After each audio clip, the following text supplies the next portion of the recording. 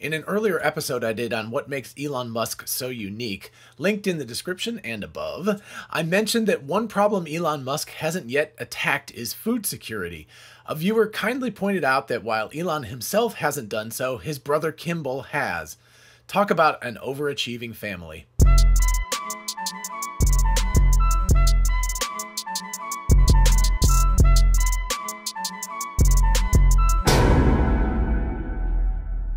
Hey y'all, it's Dr. Know It All. As most of you know, the food web is a crazy and often very inefficient way of getting groceries. I remember, for example, when I was in Hawaii, which, you know, can grow just about anything, I was looking at mangoes and papayas in the grocery store, and I was shocked to see that they were from Mexico. That's almost a sick joke. But I think it's because store chains have deals with growers and they have to use their products even if the local climate can support locally grown produce. Or if I go to the grocery store here in Georgia, I might see kiwi from New Zealand rather than a place like California, which can also grow kiwi. Think about the number of steps and the distances involved to get mangoes from Mexico to Hawaii, or kiwi literally halfway around the world from New Zealand to Georgia. As the video that's linked in the description states, food travels an average of 1,500 miles or about 2,400 kilometers to get to our stores.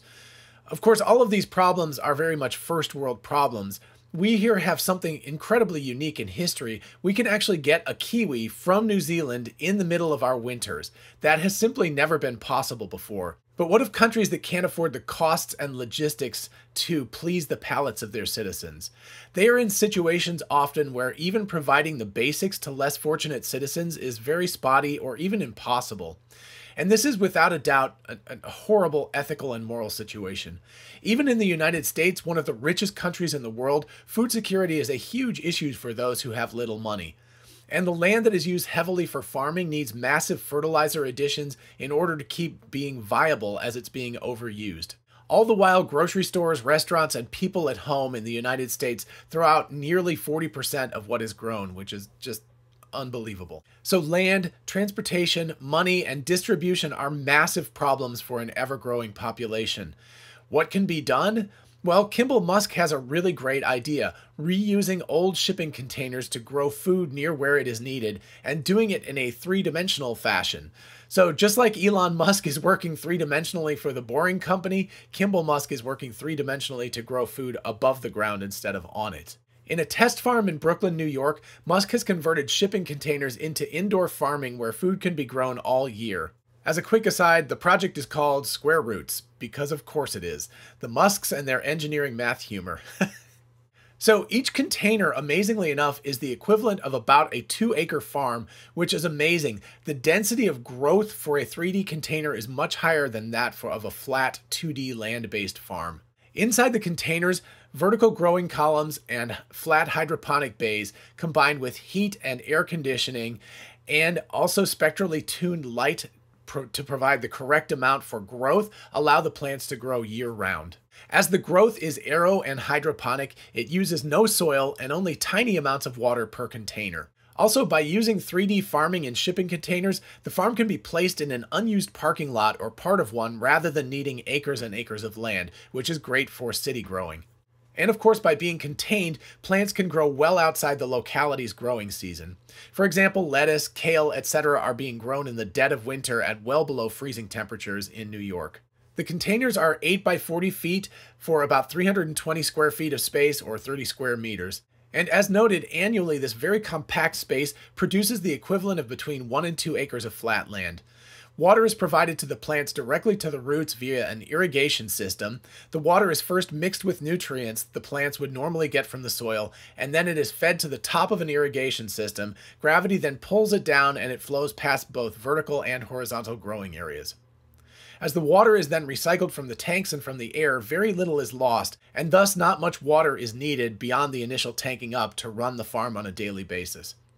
Thus, the farm uses 95% less water than an outdoor flat farm. You really think about is water usage. So in these systems, water drips down through the irrigation system. It's mixed with the right level of nutrients. Gravity does its thing and feeds the plant. And then the water is all captured in a tray at the bottom and is then recirculated in fact, this whole farm runs on about eight gallons of water a day, which is like less than your shower. And that's 95% less water than an outdoor farm would use. It's like you have an entire Oh, forest in here. I love These it. look good. This is like the first time in a while that I've been craving a salad.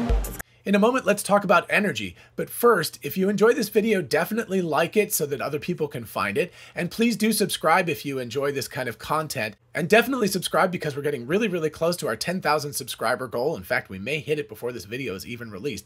And if we do before the end of the year, I've got something fun to give away.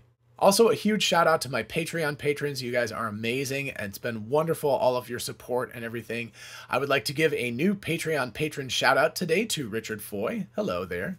Also, as always, a big thank you to Zenlee Music for doing the intro and conclusion music. He's a wonderful artist, so definitely check him out on Instagram or YouTube. And if you're in the market for a new Tesla, definitely check out our referral link. If you use that link and purchase a car, you get a thousand free supercharger miles, and so do we, which is cool. So, what about electricity? It seems this would be the farm's Achilles heel. It would need lots of electricity for both growing light and for heating and cooling.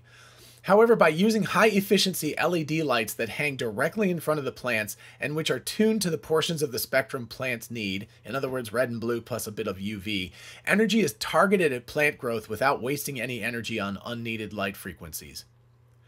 Still, however, 50% of the cost of these farms is in electricity. Of course, a big potential, and one that Elon himself could very well help with, is installing local solar, perhaps even on the roof of these things, to massively reduce energy grid needs. With enough solar plus Powerwall batteries, it could be possible to even make each container a self sustaining entity. And that could be shipped easily around the world since these containers are literally the shipping containers used everywhere. Or, of course, one could build these using scrapped ones locally, using instructions and equipment provided by a company or a philanthropic organization. For sure, this solution is not going to solve the world's food crisis by itself, but it is a fascinating and relatively cost effective way to localize food, which removes much of the transport and logistics costs, opens more efficient growing solutions to poor areas of the world that don't have good farming soil or conditions, and simply makes food better for you because it's eaten much sooner after being harvested. And if Elon and Kimbal Musk team up and get integrated solar and batteries working, these containers could become self sufficient farms that can be placed anywhere in a city or suburb to allow local food to be grown and eaten in the most efficient manner possible. Here's to the Musk brothers continuing to change the world. Okay, I hope you found this episode interesting and informative. If you did, definitely like and subscribe for more of this. And also, please, as always, ask me questions in the comments or at my email address, which is drknowitallknows at gmail.com. Till next time, bye bye.